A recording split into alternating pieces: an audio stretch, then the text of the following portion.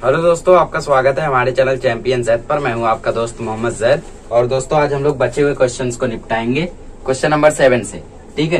तो इसमें हम लोग देखें क्वेश्चन नंबर सेवन में तो हमें ए ई फाइंड करना है बट ए ई के लिए हमें सी भी मालूम रहना चाहिए। और हम लोग देखे तो तीन पैरल लाइन है। इंटरसेप्ट कर रही पता चल गया ना क्या? चल। तो segment A B parallel to segment C D parallel to segment E F ये हम लोगों को गिवन है, ठीक है? डॉट डॉट डॉट करके यहाँ पे गिवन डाल दो। चलो, ये हम लोगों का गिवन हो गया, ये गिवन लिखा है, कुछ कोडवर्ड नहीं है। तो गिवन हो गया तो इसमें B D upon D F जो है, जो B D upon D F है, वो इक्वल आएगा ए सी अपॉन सीई के। और यहाँ पे लिखोगे intercept made by three parallel line intercept made by three parallel lines ठीक है, मैंने कोडवर्ड में लिखा, आप पूरा लिखो। तो बी डी आपका एट है डी एफ़ आपका फोर है, ये आपका ट्वेल्व है, ये आपका एक अज्यूम कर लो, वरना सी लिखो, छोड़ो। तो ये टू वन जा। ठीक है टू बाय वन आ गया। तो सी ई इंटू टू आ गया और इधर ये ट्वेल्व आ गया। तो सी की वैल्यू आ जाएगी ट्वेल्व बाय टू तो सी का आंसर आपको मिल जाएगा सिक्स सी मिल गया तो आपको ए ई भी मिल जाएगा ट्वेल्व प्लस सिक्स तो A E is equal to होता है ए सी प्लस सी ई ठीक है डॉट डॉट डॉट करके यहाँ पे लिख दो ए सी ई तो ए सी प्लस सी मतलब ट्वेल्व प्लस सिक्स ये आपका आंसर आ गया एट्टीन यूनिट्स बहुत ही इजी है, इस तरीके से इसको करना है। कर लीजिए, फिर हम लोग बढ़ते हैं आठवें क्वेश्चन की ओर। चलिए, इसको लिख लीजिए। तो गाइस अगला क्वेश्चन मुझे नहीं लगता कि मुझे कराने की ज़रूरत है बट फिर भी लगता है कराना पड़ेगा, ठीक है? तो इसमें भी बोला है कि जो ये रे है, वो बाइसेक्ट कर रही है एंगल एलेमेंट को। मतलब in triangle element ray M T bisect angle L M N ठीक है? इस एंगल को बाइसेक्ट करे तो L M upon M N जो होगा L M upon M N जो होगा, वो इक्वल होगा L T by T N के। डॉट डॉट डॉट करके यहाँ पे लिखोगे property of angle bisector of a triangle ठीक है, इस तरीके से हो गया आपका। ये आपका टीएन लिखा हुआ है, थोड़ा प्रॉपरली देखो। ठीक है एल एम आपका सिक्स है एम एन आपका टेन है एल टी आपको नहीं मालूम है टी एन आपका एट है। क्रॉस मल्टीप्लाई करो तो L T into ten is equal to eight six जब forty eight L T is equal to आ जाएगा फोर्टी एट बाय टेन एक ज़ीरो तक नंबर के बाद पॉइंट लगा दो तो आपका एल टी का आंसर मिल जाएगा फोर पॉइंट एट यूनिट्स बहुत इजीली हम लोगों को मिल गया क्वेश्चन नंबर एट का आंसर चलिए इसको लिख लीजिए फिर हम लोग करते नवा question guys question number nine भी आपका बहुत ही ज़्यादा इजी है. ठीक है खाली एक्स दिया गया तो अपॉन में लिखो आंसर आ जाएगा. इसमें आपको एक्स की वैल्यू फाइंड करनी है हो सकता है आपको कहीं कहीं पे पूछे कि पूरे साइड का भी मेज़रमेंट फाइंड करो. तो वहाँ पे एक्स की वैल्यू रख देना जैसे एक्स की वैल्यू समझ लो नाइन आई है तो नाइन माइनस टू ये सेवन हो जाएगा ये नाइन प्लस टू इलेवन हो जाएगा ये नाइन प्लस फाइव फोर्टीन हो जाएगा और ये नाइन रहेगा ठीक है? तो कहीं कहीं पे ऐसा भी, भी पूछ सकता है। फ़िलहाल यहाँ पे तो सिर्फ़ एक्स की वैल्यू फाइंड करनी है तो in triangle ABC segment B D या फिर रे बी डी ये आपका रे है, ठीक है? रे लाइन और सेगमेंट जानते हो ना? दो डॉट के जो बनता है, जिसके एंड एंड में दो डॉट होता है। दो डॉट मतलब कि वो वो चीज़ वहाँ पे एंड हो रही है। वो होता है हमारा सेगमेंट और एक एरो एरो मतलब क्या? कि ये लाइन इस तरफ़ जा रही है और यहाँ पे एंड है, ठीक है? तो ये होता है हमारा रे तो यहाँ पे वो रे है। और अगर दोनों साइड लाइन जा रही है तो उसको हम लोग बोलेंगे लाइन ठीक है? तो यहाँ पे रे बी डी जो है वो बाइसेक्ट कर रही है एंगल ए बी सी को। ठीक है?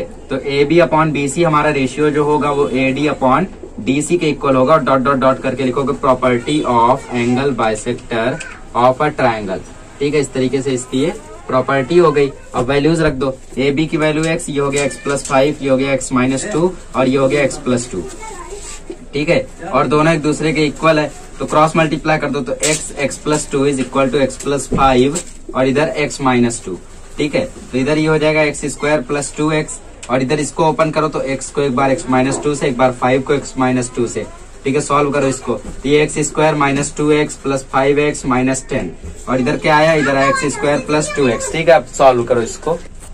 इसको कैसे सॉल्व करेंगे? देखो x square plus two x को अभी ऐसे ही रहने दो। इधर क्या बचेगा? X square plus three x minus ten. अब एक्स स्क्वायर एक्स स्क्वायर दोनों कट जाएगा। कैसे कट जाएगा? तो माइनस टेन को यही रहने दो, बाकी सबको यहाँ लेकर आओ। देखो क्या होगा।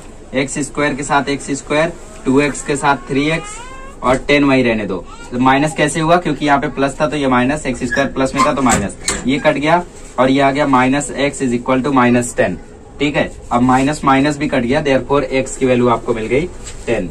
इस तरीके से करना है, कुछ भी नहीं है, सिर्फ़ आपको मल्टीप्लाई वगैरह करने आना चाहिए। कैलकुलेशन है सिर्फ़। इसको कर लीजिए, फिर हम लोग करते हैं दसवा क्वेश्चन जो कि एक एक्टिविटी के फॉर्म में है। थोड़ा सा ट्रिकी है। अच्छा वो एक्टिविटी के फॉर्म में आपके लिए इजी हो जाएगा। तो गाइस क्वेश्चन नंबर टेन में सबसे बड़ी डिफिकल्टी ये है सर डायग्राम कैसे बनाएँ? यही है सबसे बड़ी डिफिकल्टी बहुत सारे बच्चे डायग्राम बनाने में ही फेल हो जाते हैं। तो सम कैसे कर पाएँगे, ठीक है? डायग्राम बनाने का देखो ट्रिक है। ये ट्रायंगल ऐसा बनाओ, यहाँ से एक डॉट लो, ऐसे ऐसे और ऐसे लो। फिर उसके बाद ऐसा एक छोटा सा ट्रायंगल बना दो, बन जाएगा, ठीक है, इस तरीके से। ठीक है?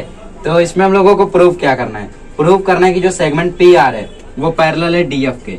सेगमेंट पी आर जो है, वो पैरेलल है सेगमेंट डीएफ के। पी आर का है भाई? पी आर ये है और डीएफ ये है। ये दोनों पैरेलल है। इसके लिए हमें क्या करना होगा कि हम लोगों को ये ये हम लोगों का एक्स है। तो x P upon P D को x R upon R F के इक्वल लाना होगा। बेसिक प्रोपोर्शनलिटी थियरम अगर इस ट्राइंगल को मैं बाहर निकालू, इस ट्राइंगल को अगर मैं बाहर निकालू, बहुत सारे बच्चे एक्टिविटी समझ के छोड़ देते बट यही चैलेंजिंग है। ये एक्स हो गया, ये हो गया पी ये हो गया आर तो अगर मैं इसके अपॉन इसको और इसके अपॉन इसको इक्वल बताऊ तो हम लोगों का जो लाइन है वो पैरेलल हो जाएगा पी आर जो है, वो डीएफ के पैरेलल हो जाएगा। तो इसमें जैसा किया वैसे ही मुझे कराना पड़ेगा। सबसे पहले in triangle x D E लिखा है, ठीक है? In triangle x D E जो पी क्यू है, वो पैरल है डी ई के। और ये हम लोगों को गिवन है। पहले बॉक्स में क्या आएगा? गिवन ठीक है? जो जो बॉक्स में आएगा, उसको मैं बॉक्स में भी लिखते चलता हूँ। डोंट वरी अबाउट दैट और गिवन अगर लाइन हमारा पैरल हो गया कौन कौन सा? पी क्यू और डीई पी क्यू और डी जब पैरल हो गया तो एक्सपी अपॉन पी डी जो होगा, वो x Q upon Q E के इक्वल होगा, ठीक है? तो एक्सपी अपॉन पी डी जो होगा वो x Q upon Q E के इक्वल होगा।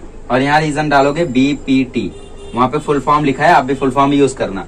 हाँ ठीक है? तो कौन कौन सा यहाँ पे बॉक्स में बॉक्स में जरा डाल दू। नीचे वाला, ऊपर वाला। इस तरीके से। अगला ट्राइंगल लिया x E F in triangle x E F x E F मतलब ये वाला। इसमें भी क्यू आर जो है वो ई e एफ़ के पैरल है। और ये चीज़ें हम लोगों को टेक्स्ट बुक में देखे रखी है। ठीक है? तो इसमें क्या है? क्यू आर जो है, वो पैरेलल है ई e एफ़ के। तो इसमें x Q upon Q E जो होगा, वो इक्वल होगा x R upon R F के। ठीक है, इधर भी रीजन लिखोगे बीपीटी खाली छोड़ा है तो यहाँ पे बीपीटी लिखोगे बॉक्स में डाल दो। ठीक है? और ये पूरा बॉक्स में आएगा। अब देखो, हमें आंसर मिल चुका है। इसको दे दो नंबर टू इसको दे दो नंबर वन देखो एक्स क्यू अपॉन क्यू यहाँ भी था एक्स क्यू अपॉन क्यू यहाँ भी है। एल एच एस इक्वल है तो R H S L H S R H S ये भी इक्वल हो जाएगा। ठीक है, ये दोनों इक्वल है तो ये दोनों भी इक्वल हो जाएगा। और भाई हमें प्रूफ करना था x R upon R F x R upon R F x P upon P D x P upon P D दोनों इक्वल हो जाएगा। Therefore x P upon P D is equal to x R upon R F ठीक है, वही चीज़ शायद यहाँ पे भी लिख के रखिए बिल्कुल। ये भी आपका बॉक्स में रहेगा, ठीक है? ये भी आपका बॉक्स में रहेगा। ये एक्स आर है, ठीक है? ये भी आर है। तो ये दोनों पैरेलल हो गए तो जो सेगमेंट पी आर होगा, वो पैरेलल हो जाएगा सेगमेंट डी एफ़ के। P R D F parallel हो गया। Therefore converse of basic proportionality theorem converse of BPT ठीक है? पैरेलल हो गया। बस यही प्रूव करना था। बहुत ही इजी है, ठीक है? खाली आपको समझ में आना चाहिए। चलिए, अब लास्ट क्वेश्चन करते हैं। थोड़ा सा ट्रिकी है वो। आइएगा लास्ट क्वेश्चन करते हैं। इसको बहुत ही बढ़िया से मैंने सजाया हुआ है, क्योंकि लास्ट क्वेश्चन आप लोग जानते हो, सब लोग काफ़ी अच्छे से सजाते तो in triangle ABC ray B D हम लोगों को फिगर नहीं दिया, सबसे बड़ी प्रॉब्लम आपको सोचना पड़ेगा। फिगर को सोचना पड़ेगा। फिगर को सोचो। देखो, इन ट्रायंगल एबीसी बोला है तो ये आपका ट्राइंगल ए बी सी है एज्यूम करो ऐसा। ठीक है? ए बी सी अब ए बी सी में क्या बोला है? रे बी डी बाइसेक्ट कर रहा है ए बी सी को। ए बी सी को बी डी बाइसेक्ट कर रहा है। मतलब वो इस तरीके से होगा। ठीक है? और रे सीई सीई मतलब यहाँ से होगा। ये बाइसेक्ट कर रहा है एंगल ए सी बी को, ठीक है? ये हो गया। तो एंगल ए सी बी को तो हम लोगों का अगर ए बी मतलब ए बी ए सी के कॉन्ग्रेंट है, बाद में देखेंगे तो प्रूव करो कि ईडी e जो है, वो पैरेलल है बीसी के। ईडी e मतलब ये ये इसके पैरेलल है। तो बीपीटी और प्रॉपर्टी वाला, वो दोनों थियरम यहाँ पे लगेगा। क्योंकि देखो, पहले हमें बाइसेक्ट वाला है तो बाइसेक्ट वाले से कुछ रेशियो मिलेगा। फिर उसके बाद जो कॉन्ग्रेंट बताया, उससे कुछ मिलेगा। तो उसके बाद कुछ मिलेगा तो बीपीटी से हम लोग ये दोनों लाइन को पैरेलल बताएँगे।